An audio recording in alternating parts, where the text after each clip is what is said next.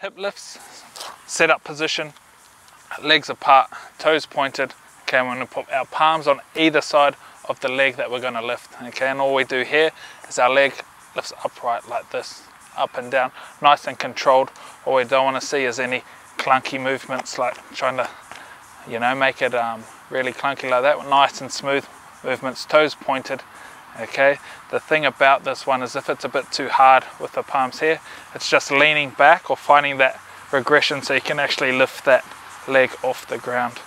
To make this exercise harder, we want to move our palms closer to our ankles, okay, until we can't get it off the ground.